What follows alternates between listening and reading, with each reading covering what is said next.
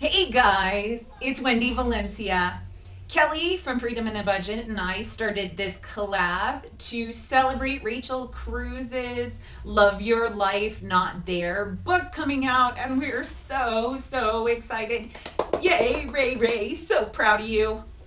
Okay, I know. It doesn't matter if I'm proud of her, but I'm excited for the book.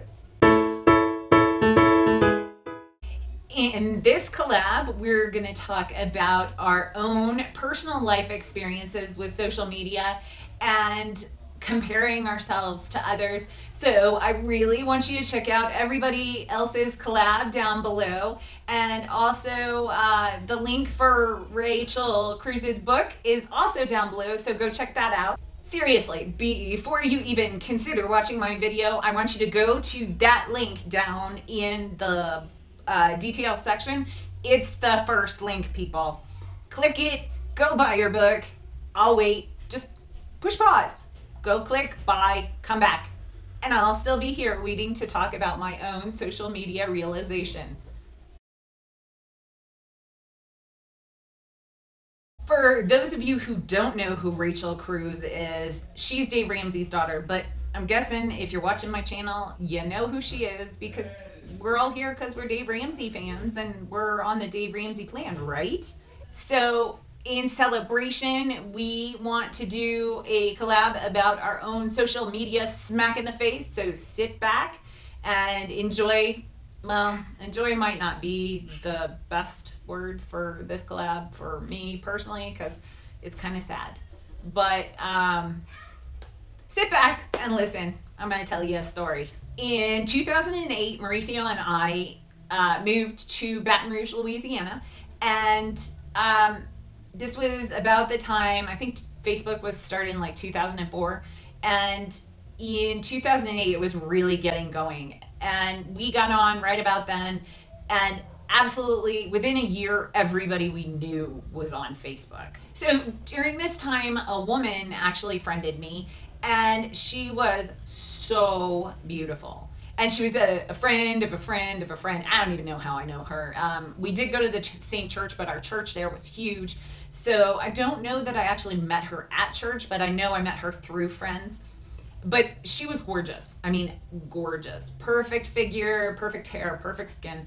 She had a huge, beautiful house and a nice car and a um, perfect kids. I mean, all the pictures she posted were perfect. I mean, perfect.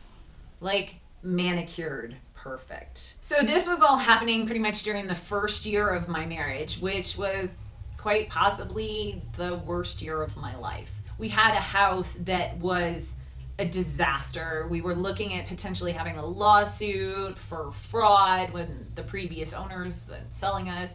It was a miserable, miserable year. Mauricio and I were not happy. And um, you're supposed to be happy when you're newlyweds, but I wasn't. I was so completely miserable on the inside that I was looking at these women's posts, this woman's posts, and I was thinking to myself, if I could just have her life, it would be perfect. I would be happy. I traveled in the same social circles as this woman, and over, I'd say, six or eight months, I actually got to know her. And she would have these super lavish parties at her house, and I got invited to several of those. Mauricio, too, obviously.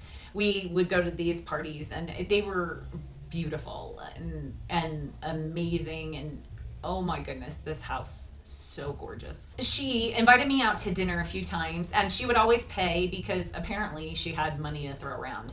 I certainly didn't at that time. Um, and I know what you're thinking. Ah, Dave Ramsey, she's probably in debt up to her eyeballs. Not this story.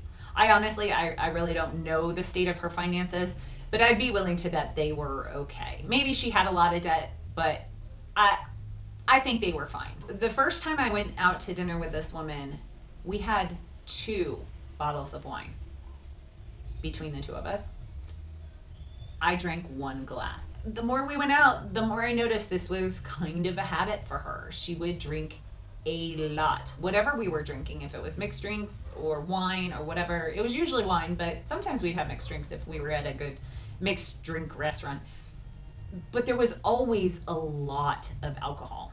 The time that she showed up at a church function, smelling of alcohol and not just smelling, but reeking of alcohol, but not actually showing any outward signs of being drunk, I knew she was an alcoholic. From that time on, once I realized that, I would look at her Facebook posts and they would kind of make my heart hurt. They they made me feel really sorry for her because I realized all she really wanted was just to be happy.